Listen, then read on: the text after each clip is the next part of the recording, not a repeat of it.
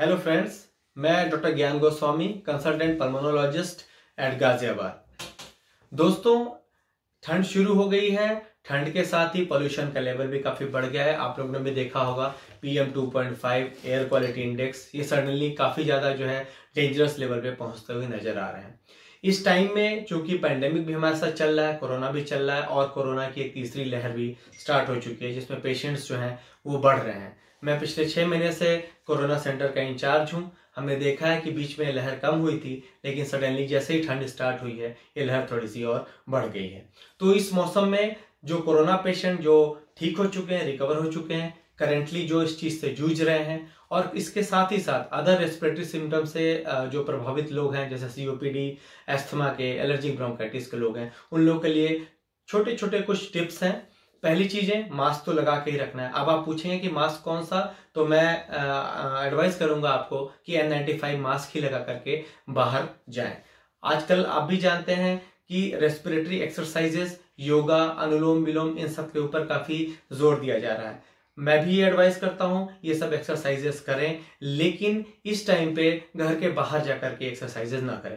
क्योंकि अनुलोम विलोम प्राणायाम में आप लंबी सांस खींचते हैं और उसमें पोल्यूटेंट्स आपके फेफड़ों में ज़्यादा से ज़्यादा मात्रा में जा सकते हैं। सो ये सब चीज़ें घर के अंदर रह करके करें। सो दूसरी चीज़ मास्क के अलावा एक एयर प्योरीफायर आप लगवा सकते हैं। बहुत सी चीज़ें हैं, इसके बारे में डिबेट होता है कि इस चीज़ को करता है फ़िल्टर इस चीज़ को नहीं करता है, लेकिन एयर फ़िल्टर लगाने में कोई नुकसान नहीं है।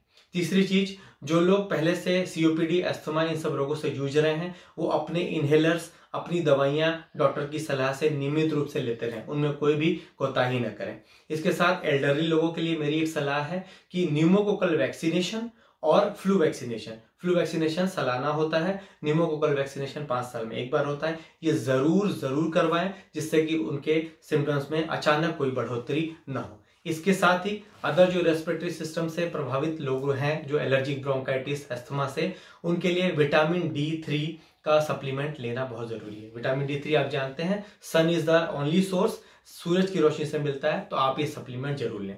तो दोस्तों, ये छोटी छोटी सलाहें थी मेरी, इस टाइम पे पोल्यूशन काफ़ी बढ़ रहा है उसके लिए। अब मैं आप लोगों को बताना चाहूँगा, आजकल काफ़ी डिबेट है, कुछ लोग मास्क लगाते हैं, कुछ लोग अलग तरीके से मास्क लगाते हैं नॉर्मल मास्क का यूज़ नहीं करते, कपड़े को बाँध लेते हैं, कुछ लोग नॉर्मल मास्क लगाते हैं, कुछ लोग एन फाइव मास्क लगाते हैं। क्या इनमें डिफरेंस है? एक छोटे से टेस्ट के माध्यम से मैं दिखाना चाहता हूँ, जिसको हम फ्लेम टेस्ट भी बोलते हैं। तो दोस्तों, ये फ्लेम टेस्ट है। आप देख सकते हैं, एक बगैर मास्क के अगर कोई व्यक्ति है और एक सामने एक मोमबत्ती की लाइट है, अगर हम इसको फूकें तो ये बिल्कुल बुझ जाएगी। अगर मैं थोड़ा सा भी ज़ोर से फूक दूँगा तो ये बुझ जाएगी। अब मैं दिखाता हूँ आपको कि ये जो हम नॉर्मल एक mask three ply three ply mask जो है, इसको यूज़ करते हैं। अब आप देखिए। ये मैंने लगाया। ये मास्क लगाने का पूरा सही तरीका है। चिन से लेकर के और नाक के जो ब्रिज तक का पूरा एरिया ये ढका होना चाहिए। अब इस पे मैं इस पे मैं ब्लो कर रहा हूँ। स्टिल आप देखेंगे कि इसमें से भी एयर काफ़ी तेज़ी से पास हो रही है। अगर बहुत ज़्यादा तेज़ी से मैं फूक दूँ तो ये फ्लेम जो है वो बुझ जाएगी। अब मैं आपको दिखाऊँगा कि N95 मास्क लगाने के बाद इसका क्या आ, होता है इस फ्लेम टेस्ट में। अब आप देखेंगे दोस्तों कि मैंने ये N95 मास्क यूज़ किया है, पूरी तरह सही तरीके से यूज़ किया है। ब्रिज ऑफ़ नोज़ से लेकर के पूरा चीन तक कवर्ड है। अब मैं इसमें कैंडल को ब्लो कर रहा हूँ पूरी ताकत के साथ। तो आप देख सकते हैं कि फ्लेम हिल भी नहीं रही है।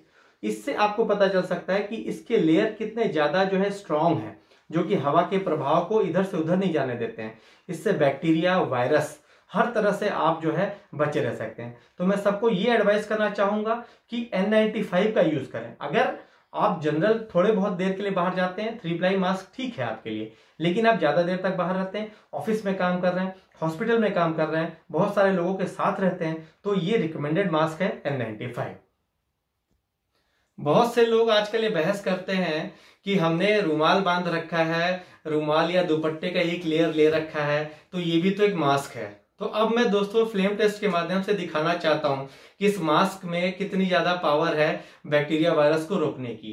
यही मास्क लगा के मैं उसी तरीके से ब्लो करूँगा जैसे बाकी दोनों मास्क में किया है। तो आप देख सकते हैं पूरी की पूरी फ्लेम जो है इससे बुझ जा रही है। पूरे तरीके से नीचे चली जा रही है। एक बार फिर करके आपको दिखा रहा हूँ। इस चीज़ का हमेशा ध्यान रखें। कभी ये बहस न करें कि ये मास्क जो है, एक परत वाला या रुमाल बाँध लेने से या दुपट्टे की एक परत लगा लेने से हम बैक्टीरिया वायरस से बहुत ज़्यादा हम फ्री हैं। तो दोस्तों, अगर आपको ये ठीक लगा, हमारे चैनल को सब्सक्राइब करें शेयर करें लाइक करें। Thank you so much